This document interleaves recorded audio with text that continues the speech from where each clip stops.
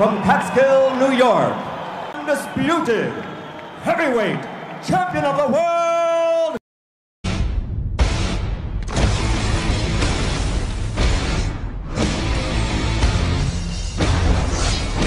He was going back.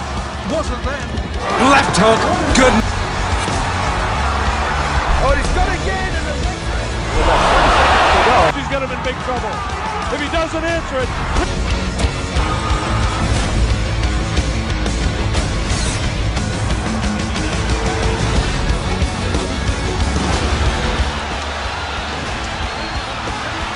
Body by again. A double right hand to the body and the chin.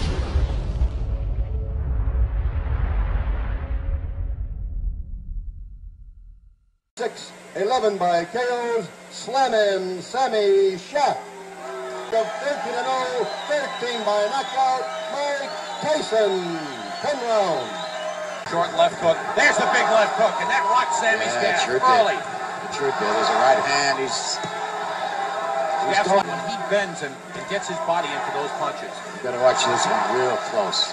Blood coming from the nose of Sammy. Tyson does not throw wild punches. Sam. That's, Big that's left hook. good left hook. And there is Two. Sam down. down. Three, four, The count is is five. for the rest of the year. six, The count is seven. This one's over.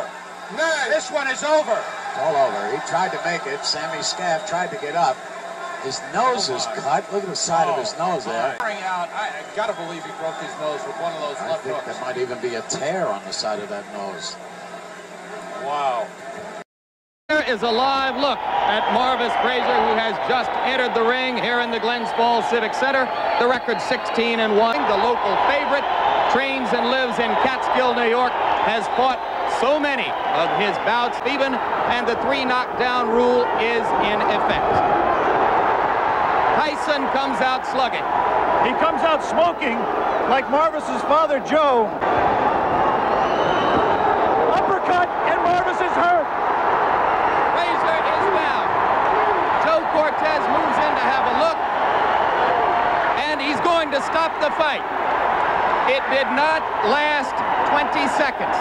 Tyson goes over to take a look at Marvis Frazier, obviously quite concerned. trap. There it was.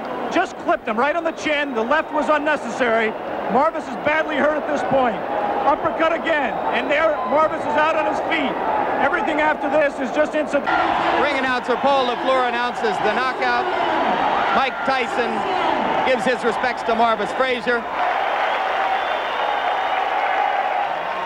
of a shot fighter when you can't get off punches. If- Down oh, goes Botha.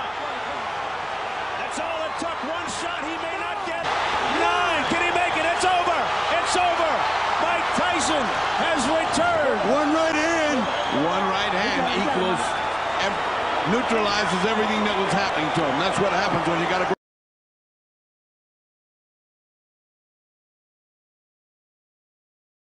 short chopping right hand. There it is.